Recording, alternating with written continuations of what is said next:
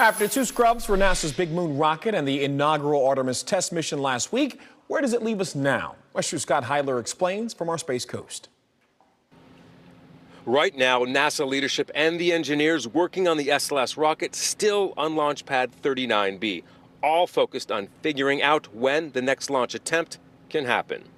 The people that are working on the problems, they are under tremendous, um, a, a tremendous amount of, of challenge to to solve it they're trying to solve it quickly because nobody no part of the launch team wants to be the cause of the delay phil metzger was part of the launch team during the space shuttle program the test directors and the launch director are very proactive in managing the schedule and um, they, they aggressively look at all options. The focus is on the hydrogen leak in the quick disconnect, the main issue that scrubbed Saturday's attempt.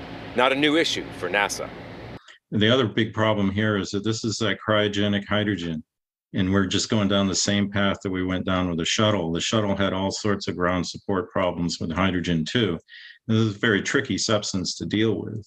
But there are other factors at play complicating the timeline. The SLS rocket's self-destruct system's batteries have to be tested back in the VAB. So it's critical that they do as much testing as possible while the rocket is still on the pad.